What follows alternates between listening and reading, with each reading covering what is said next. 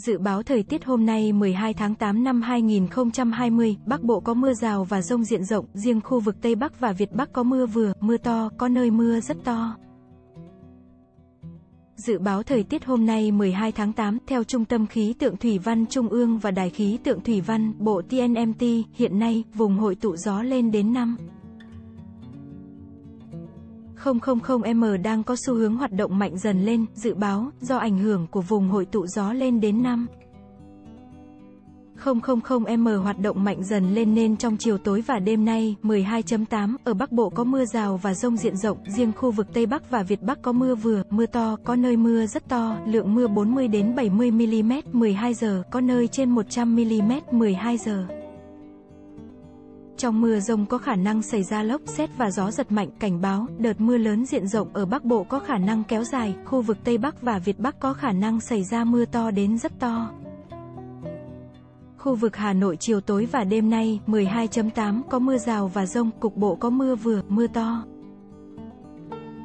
Trong mưa rông có khả năng xảy ra lốc xét và gió giật mạnh. Ngoài ra, do ảnh hưởng của gió mùa Tây Nam nên ở các tỉnh Tây Nguyên và Nam Bộ có mưa rào và rông, cục bộ có mưa to đến rất to. Thời gian mưa tập trung vào khoảng chiều và tối.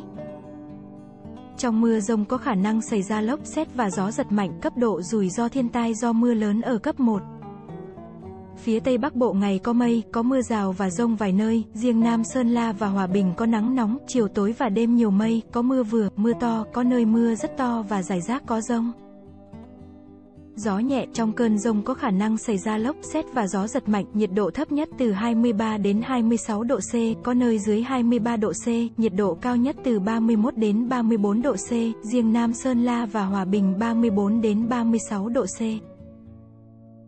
Phía đông bắc bộ ngày có mây, có mưa rào và rông vài nơi, riêng khu vực Trung Du và Đồng Bằng có nắng nóng, chiều tối và đêm nhiều mây, có mưa rào và rải rác có rông, vùng núi có mưa vừa, mưa to, có nơi mưa rất to.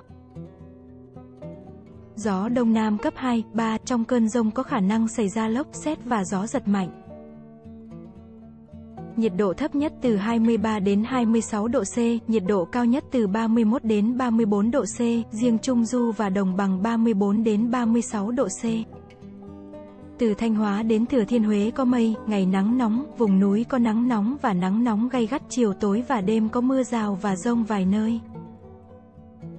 Gió Tây Nam cấp 2, 3, trong cơn rông có khả năng xảy ra lốc xét và gió giật mạnh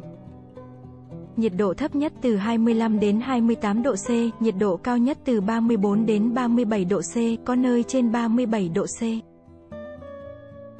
Từ Đà Nẵng đến Bình Thuận có mây, ngày nắng, phía Bắc có nắng nóng, chiều tối có mưa rào và rông rải rác, đêm có mưa rào và rông vài nơi. Gió Tây Nam cấp 2, 3, trong cơn rông có khả năng xảy ra lốc, xét và gió giật mạnh